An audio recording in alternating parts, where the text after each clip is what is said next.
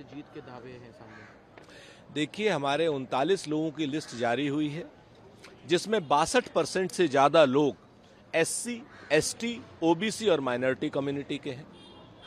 एक बात किसी के ऊपर कोई आपराधिक छवि का नहीं है। दूसरी बात तीसरी बात एवरेज 80 परसेंट से नीचे लोग अट्ठावन साल से कम उम्र के हैं।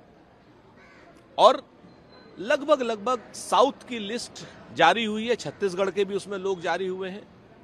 आदरणीय भूपेश बघेल जी भी हैं, उसमें राहुल गांधी साहब भी हैं, उसमें शशि थरूर साहब भी हैं केशव वेणुगोपाल साहब भी हैं।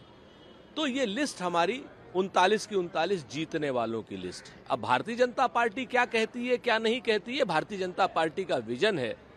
लेकिन हमारा विजन, देश को बेरोजगारी से मुक्त कराना रोज़गार परक विकास देना महँगाई से मुक्त कराना, विदेश नीति को बेहतरीन बनाना, ताकि हम लोगों के समकक्ष जैसे हम पहले खड़े होते थे, वैसे खड़े हों। ये इस लिस्ट का मूल उद्देश्य इस तरीके का है। बाकी भारतीय जनता पार्टी राजनीतिक बात जो कर रही है, विषयांतर जो कर रही है, वो उनको मुबारक। लेकिन जहाँ आपने इतनी खूबियाँ बताई, वहीं भारतीय जनता पार्टी खेमे का कहना है, अभी सोशल मीडिया पर अमित मालवीय ने कहा कि राहुल गांधी ने अपना कैंडिडेचर अमेठी से नहीं फ़ाइल किया क्योंकि वो डर गए हैं। और उसके अलावा बीजेपी के नेता का कहना यह है कि ये डर है कि राहुल गांधी ने अमेठी से नहीं किया, जो अपनी हमेशा से पुश्तैनी सीट बताते थे और इस बार वायनाड से भी वो नहीं जीतेंगे। देखिए, अमेठी से हमारा रिश्ता आत्मिक है। अमेठी हमारा घर है। कोई हमको हमारे घर से न तोड़ सकता है, न फोड़ सकता है, न छीन सकता है।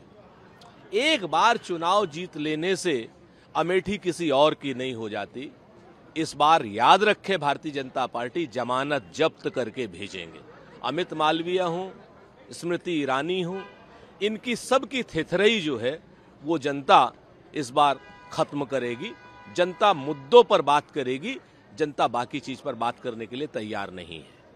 सर केंद्रीय मंत्री अनुराग ठाकुर ने कहा कि जितना बीजेपी की सरकार ने किसानों के लिए किया, उतना पूर्व में किसी भी सरकार ने नहीं किया। कांग्रेस ने सिर्फ़ साढ़े पाँच लाख करोड़ रुपए दस साल में खर्च किए थे किसानों के ऊपर और हमने अट्ठारह दशमलव चालीस लाख करोड़ रुपए खर्च किए और ये जो है इसका रोज़ ये बढ़ता जा रहा है। लास्ट में एक लाख पच्चीस हज़ार करोड़ रुपए अब तक खर्च किए अनुराग ठाकुर ने ठीक कहा कि जितनी किसानों की हत्याएँ भारतीय जनता पार्टी के शासनकाल में हुई, किसी शासनकाल में नहीं हुई। किसानों के ऊपर जितना कर्ज भारतीय जनता पार्टी के शासनकाल में लदा है, उतना कर्ज किसी शासनकाल में नहीं लदा।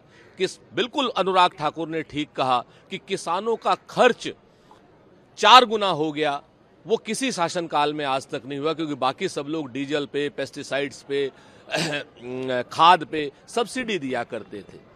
तो जितनी महँगाई किसानों को झेलनी पड़ रही है और जितना कम एमएसपी का दाम भारतीय जनता पार्टी के समय में कम बढ़ा है, उतना किसी के समय में नहीं बढ़ा। अनुराग ठाकुर जी, आप हत्यारे हैं किसानों की आकांक्षाओं के, अपेक्षाओं के, उम्मीदों के। उम्मीद करके लोगों ने आपको वोट दिया था, इस बार किसान सड़क पर बैठा है, आपको वोट की चोट देगा और आपको आपकी हैसियत दिखा देगा। एक आखिरी सवाल है। कल एक प्रोग्राम में सीएम योगी आदित्यनाथ ने कहा कि उत्तर प्रदेश महिलाओं के लिए एक सेफ़ और स्पेसिफाइड प्लेस है। यहाँ पे महिला सशक्तिकरण की बात होती है वो हम लोगों ने धरातल पे उतारा है। आपके सामने है लखीमपुर, आपके सामने है हाथरस, आपके सामने इधर की सारी घटनाएँ हैं, मैं तो नाम भी नहीं लेना चाहता। जिस तरीके से महिलाओं को टारगेट किया जा रहा है उत्तर प्रदेश में। एनसीआरबी के आंकड़े कह रहे हैं।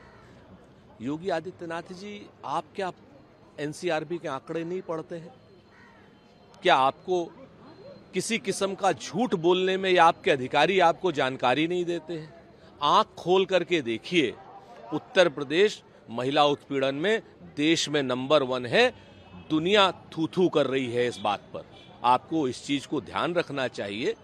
और उत्तर प्रदेश की पुलिस को और अपने शासन तंत्र को डांटना चाहिए, प्रताड़ित करना चाहिए कि उन आपसे कम से कम झूठ तो ना बोले वो।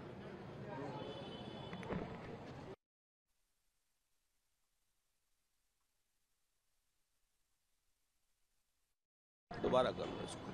काफ़ी सवाल है। सीएम योगी ने कल अपने एक बयान में कहा कि उत्तर प्रदेश में महिला सशक्तिकरण बढ़ा है।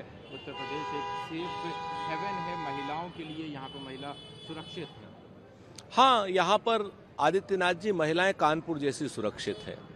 जहाँ पर उनके साथ दुराचार होता है, उनकी वीडियो बनाई जाती है, बलात्कार होता है, उसके बाद वो दोनों महिलाएँ आत्महत्या कर लेती है, दोनों बच्चियाँ।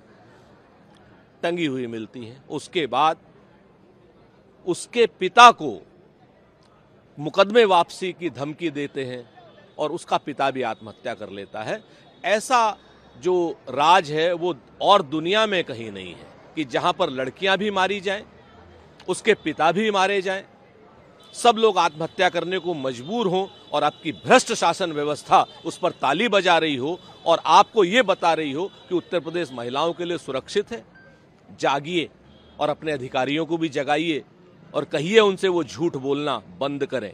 या तो दृष्टि खराब है, या दृष्टि दोष हो गया है, दोनों का इलाज कराइए आदरणीय योगी आदित्यनाथ जी।